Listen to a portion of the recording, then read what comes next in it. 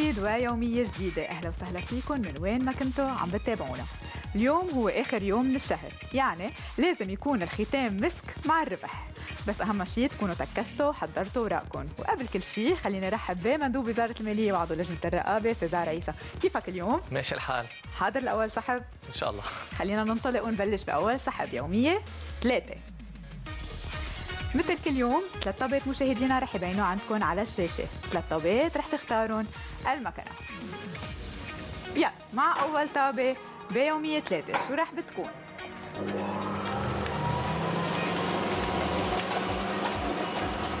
أول طابة بيومية ثلاثة هي اثنين. ثاني طابة صفر.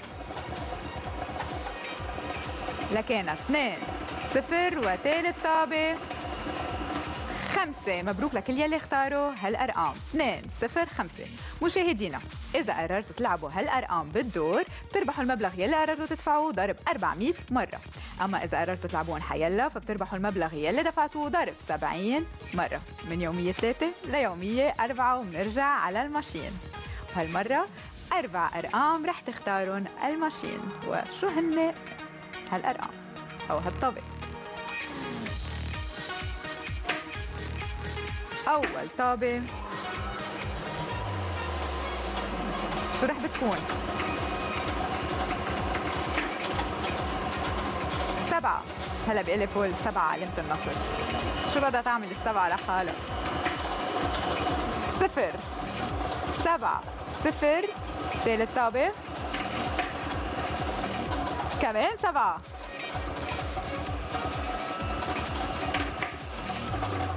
سبعة صفر سبعة اثنين.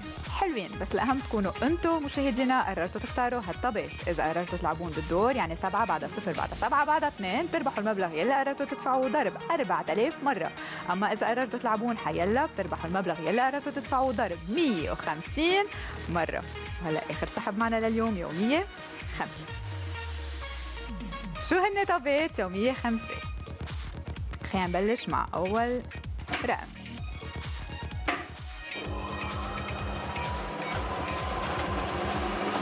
أول طابة بسحب يومية خمسة وواحد الطابة الثانية ستة. إذا واحد ستة. أربعة. ما في دوبليت واحد ستة أربعة صفر.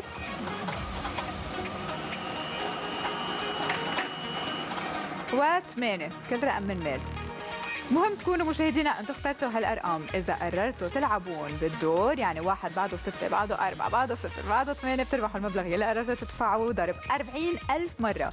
أما إذا قررتوا تلعبون حيلا أو عشوائيا تربحوا المبلغ يلي قررتوا تدفعوه ضرب 350 مرة. هول كانوا طابات اليوم. خلينا نرجع نتأكد من نتائج الطابات والسحوبات معك سيزار تفضل. أه سحب يومية لتاريخ 30 6 2016 والرقم الربحان ليومية 3 هو 205 ليومية 4 هو 7072 ليومية 5 هو 16408 شكرا لك سيزار لوجودك معنا اليوم. بدي أقول لكل يلي ربحوا هالأرقام بدي لهم ألف ألف مبروك. أما يلي ما حلفهم الحظ فبنقول لهم إنه معليه ما صار شيء بكرة يوم جديد بكرة شهر جديد بكرة فرصة جديدة. وأنا برجع بلاقيكم كمان بكرة بالوقت نفسه. bye bye.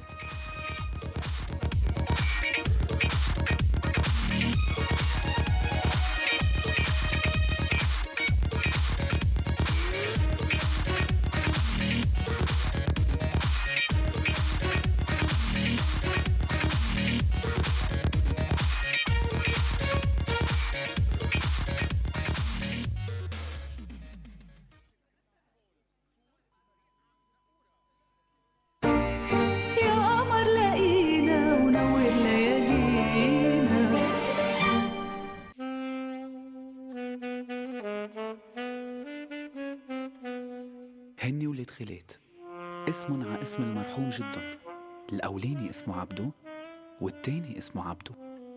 بس كل عبدو شكل.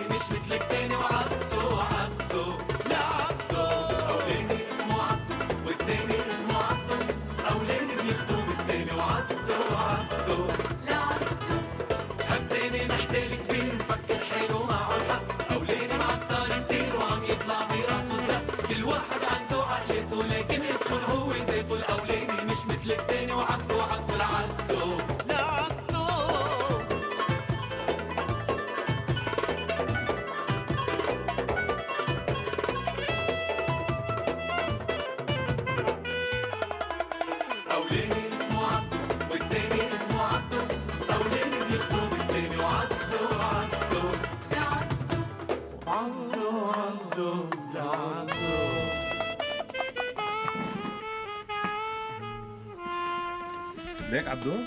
أقول لك لازم نظبط التخت قبل ما نفل. ظبط التخت قبل ما تفل؟ ليش بعد بيتظبط التخت كم مرة صرت كسره هذا؟ بعدين ما لقيت إلا آخر جمعة تكسر التخت مع مين كنت امبارح. je sais pas moi. آه مش فايق كمان. نو يعطيك ألف عافية. والله كيف مرقت هالسنة. ما حسينا فيها. لا والله أنا حسيت فيها كثير كانت سنة ولا أصعب من هيك. إنه معقول هلا؟ بعد خمس أيام بدنا نطلع على الضيعة؟ إيه، إيش بدنا نعمل؟ وين بدنا نروح؟ خلصت الجامعة وبدنا نطلع على الضيعة. تعرف يا ريت فينا نضلنا هون. حبيته هالفوية. حبايته هالفوية؟ ضبط لكيشك قوم قبل ما يجي أنيس ويدارك بكدركم عن درج. بس عبدو كان عندنا ذكريات حلوة هون. والله رح أشتاق لهم لرفقاتي. رفقاتك ولا حبيباتك؟ سيلينا جينيفر روبا جاكلين. وأنا رح أشتاق لمدام صوفي ولمدام جريتا ولجوزها المدام جريتا ولبوكسات مرافق ولجوزها المدام جريتا. مايك جيرار وكريم. والله رح أشتاق لهم كلهم سوا رح أشتاق لهم عبدو. تعرف كان عندنا ذكريات كثير حلوة. لا قليل وقت اللي جينا بدنا نمثل أنا وياك. هيدي مش ذكريات حلوة؟ وقت اللي حضرتك بعتني على ال night محلك هيدي مش ذكريات حلوة؟ وقت اللي ربحنا التلفزيون هيدي مش ذكريات حلوة؟ وقت اللي حضرتك ضحكت على كرم على درب وانتحلت اسم جميل جمال هيدي مش ذكريات حلوة؟ وقت اللي حضرتك انغرمت بلاما هيدي مش ذكريات حلوة؟ وقت اللي اجت خالتي فضحتك قدام جينيفر هيدي مش ذكريات حلوة؟ ولاد سهيلة. عيد الميلاد. راس السنة السنة هيدي أحلى ذكرى بالعالم راس السنة طيب. مسابقة الشعر. خليل السائل. ملك جمال الجامعة. ست ليلى.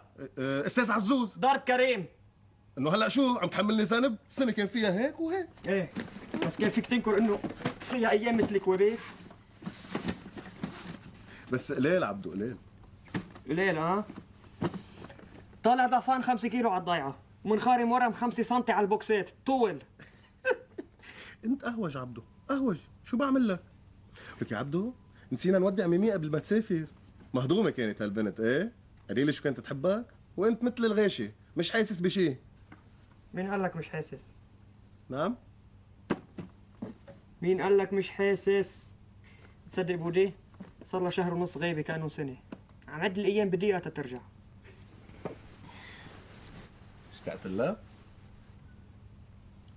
عبدو اشتقت لها؟ آه يا عبدو آه. ليك شو عدا ما بدأ؟ يا خي كنت ملتهي. كنت ملتهي بالدرس وبالمشاكل تبع حضرتك. بس هلأ سبحان الله. بس فلت عرفت قديش كان وجودها مهم معنا. وعا شو كنت تتمنتع فيها وتحسسها انه مش طايقها. خي كنت جبان. إيه وهلا؟ هلا بعدني. بعدني جبان. إيه بابا بس تحسنت. على القليلة عم بعترف إني مشتاق لها إيه هلا لما ترجع من السفر لازم تقلها. إيش بدي أقول لها يا خي؟ أنا باش أحكي شيء أنا أنا باش ركب كلمات مثلك. أنا بركب لك جملة مفيدة ما عليك. أنت بتركب لي جملة مفيدة؟ أنت بحال بدك تركب جملة مفيدة بتكون عم تركب ضربية معها. على كل حال مين مشتاق لها أنا يا ما أنت. لا لا صار بدي أروح على الجامعة. بدك شيء؟ بشرفك ضب الاغراض انت عبدو آخر كم يوم ما بيروحوا على الجامعة. يا خيي أنا آخر كم يوم بدي أروح على الجامعة. إيش لك تعال ربيني آخر يومين أنت. إيش بك دخلك؟ بدي أروح بدي ضيع دقيقة من وقتي أنا. روح. يه أنت مضيع حياتك كلها بالدرس. سمعتك. ما فيك إلا دينين. سمعتك. مثل الخلد. هيدي ولا ممكن تكون سمعتها. وحدك مثل الخلد. يا خو شليتي وحدك اخو شليتي شي. ما تقولش شي.